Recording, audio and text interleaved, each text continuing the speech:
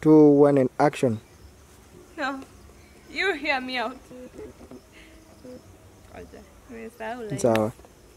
Let's go again. Compose yourself. And in three, two, one, and action.